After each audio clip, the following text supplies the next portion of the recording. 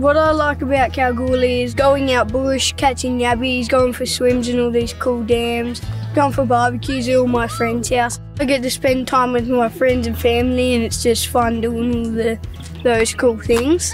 There's quite a lot of stuff to do here with like outdoors, so it's quite it's really good. You would stay out more and you wouldn't be stuck on your phone or iPad anymore. We're all in the dams, getting all dirty and eating yabbies. Yeah, we just make our own fun here.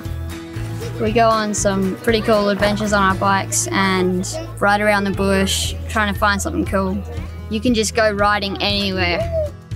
We're a really welcoming town for anyone that wants to come and live here. Anyone that asks you, Do you want to be my friend? that you're probably going to say yes. I'd say if anyone wants to move here, I'd say go for it. You can just have fun.